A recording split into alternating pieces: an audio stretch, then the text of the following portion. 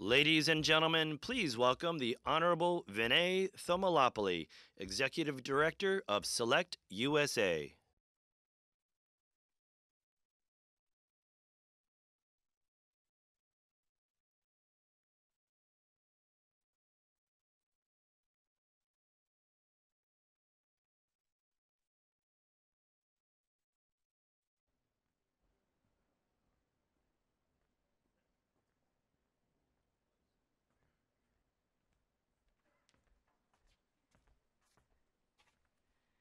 Good evening. It's my honor to introduce Senior Advisor to President Barack Obama, Ms. Valerie Jarrett. Ms. Jarrett has been a strong supporter of Select USA from the very beginning. She made that very clear in the 2013 inaugural summit, and we are thrilled to have her back today.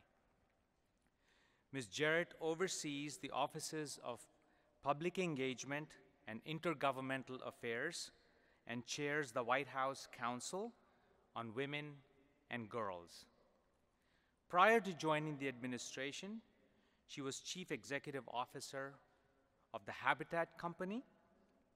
She knows business, and she's well acquainted with economic development issues. Ms. Jarrett has held positions in both the public and private sector including being the chair of the Chicago Transit Board, the commissioner of planning and development for the city of Chicago, and deputy chief of staff for Mayor Richard Daley. She has practiced law with two private firms. Ms. Jarrett also served as a director of corporate and for nonprofit boards, including Chair of the Board of Chicago Stock Exchange, Director of the Federal Reserve Bank of Chicago, and the Chair of the University of Chicago Medical Center Board of Trustees. What a background. We're delighted to have Ms. Valerie Jarrett. Please join me in welcoming Ms. Jarrett.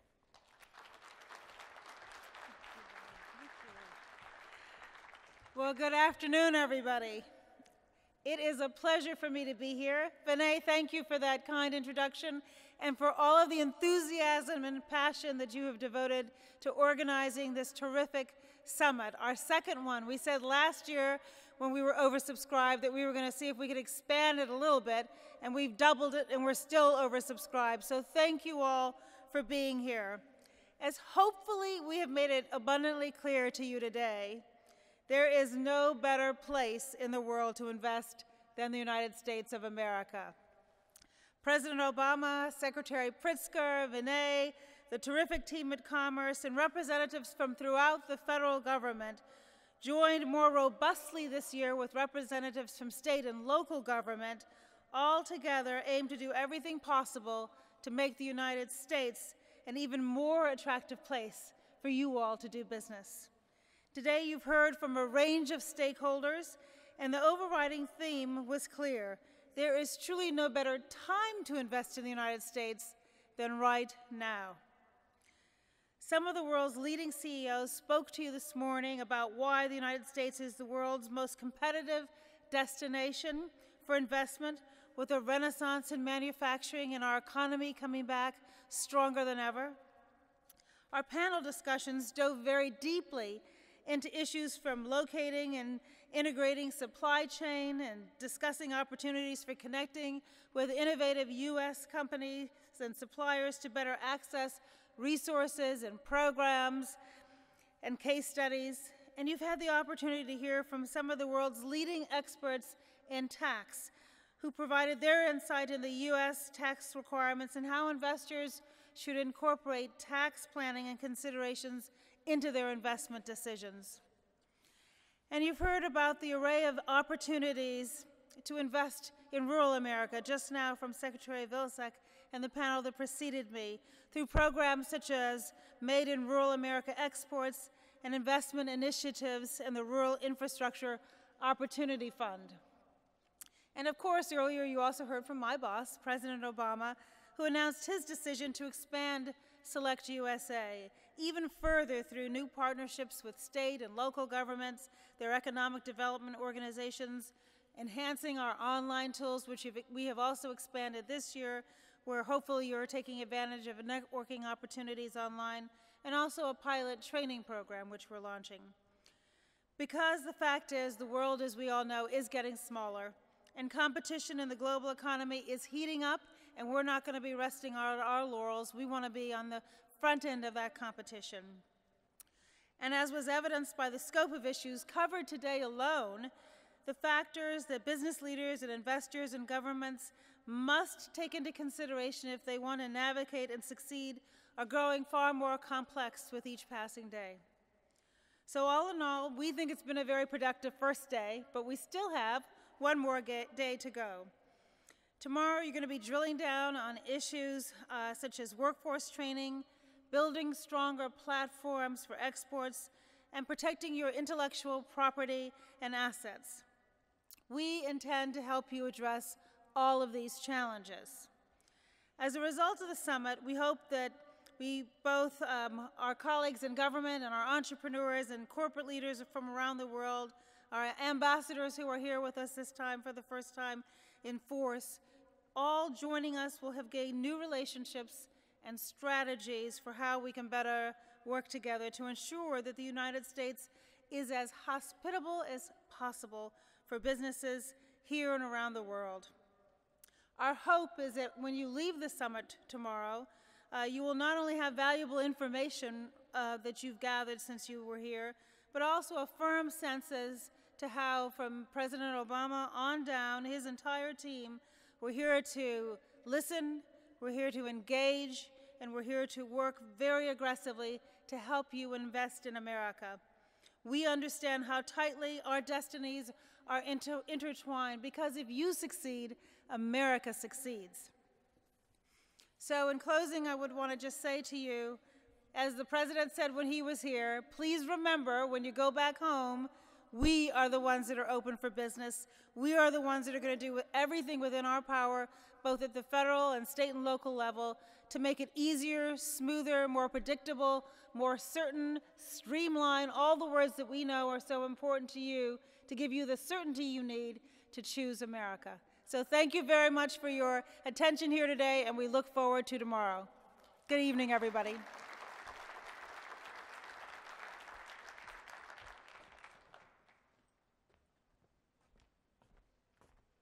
Thank you, Valerie, for uh, those wonderful uh, remarks. Um, I know you've heard so many speeches today, and I promise to keep my remarks as brief as possible, but I have to share a few things with you today. Uh, for the investors who are here from all over the world, thank you for believing in the market in the United States and growing your business. For the economic development organizations, government officials, and many others, thank you for the effort you devote day in and day out in building our communities and assisting businesses to find what they need to be successful. I'd like to, it's very important, I'd like to thank the sponsors for today's event, today and tomorrow's event, starting with our diamond sponsors, which includes ANZ Pharmaceutical, Ernst & Young, Jobs Ohio, the Puerto Rico Industrial Development Company, and Team Texas. Platinum sponsors include JP Morgan and KPMG. We're also fortunate to have Deloitte as a gold sponsor. Our silver sponsors include the Michigan Economic Development Corporation, OCO Global, O'Melveny and Myers, Orlando Economic Development Commission, PwC, the State of Connecticut Department of Economic and Community Development, and the State of Georgia Department of Economic Development. Bronze sponsors include Aevitas Group, Deutsche Messe, the organizers of Hannover Messe, Fragomen Worldwide, State Book International, the Turkic American Chamber of Commerce, the State of Wisconsin Economic Development Corporation, and finally, thanks to American Electric Power for sponsoring mobile charging stations That was very important for several of you today. I know you're running low on battery. I'd like to recognize uh, the joint effort that Select USA has conducted with CII, Council of Indian Industries.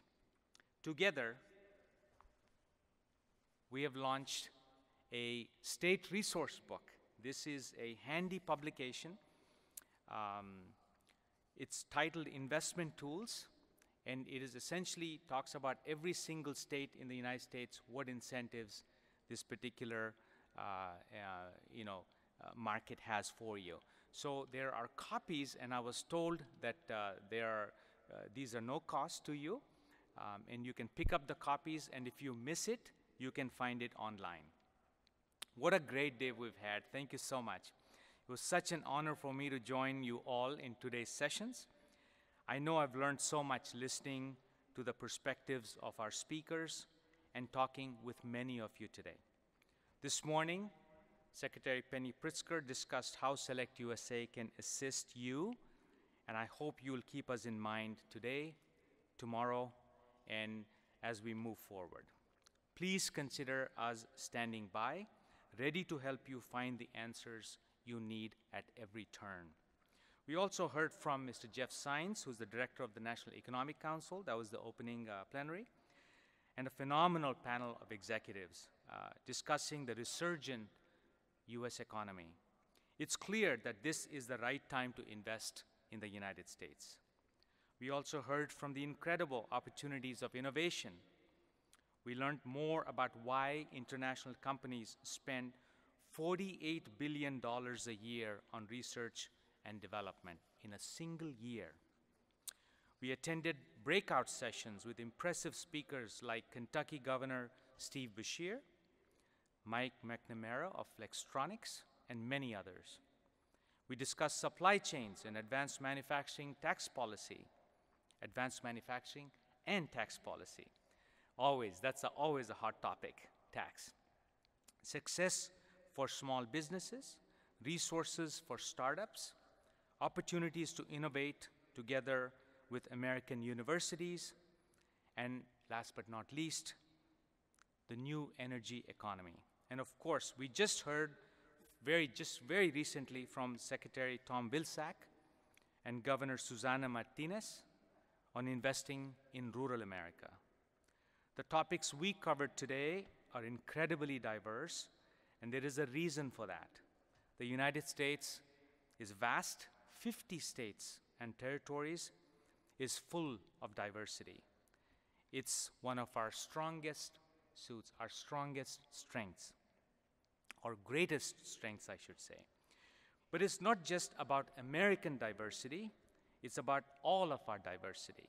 Everybody who is in the audience here and those who are watching us. And there are companies here of all sizes. 60% of the businesses who are here today for the conference fall into the SME category, small and medium enterprises. That was quite a thing for me to learn. I can tell you from firsthand experience that the opportunities are out there for you. Regardless of the size of your home country, you can find the market, the people, and the place that you need to be successful here in the United States. Select USA is ready to be your partner as you search for those opportunities. Today is not over. I hope you'll join us for a special reception on the exhibit hall floor immediately after I stop talking. You can enjoy the sunset over the harbor and unwind a little bit and sort of soak it in. And then we will see you all tomorrow, bright and early, for a full day, starting with Commerce Deputy Secretary Bruce Andrews and Secretary of the Treasury Mr. Jack Lew. Please don't be late. And that soon after that, what we'll be, what we'll be following is a, a lively discussion, an excellent discussion we expect from Michelin, BMW, Wanda, Nestle, Samsung, the Strauss Group, Morgan Stanley, and many more throughout the day. So once again, Thank you for your participation. Thank you for making this the most successful Select USA Summit yet. Good evening.